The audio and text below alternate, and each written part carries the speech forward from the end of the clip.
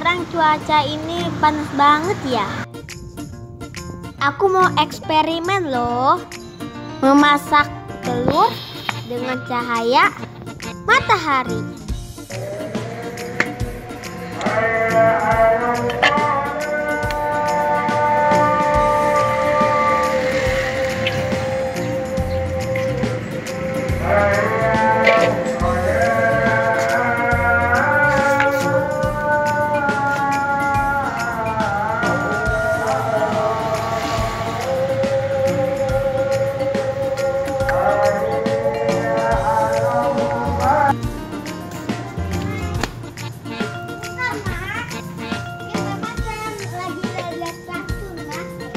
Ternyata satu jam lebih telurnya belum matang sempurna.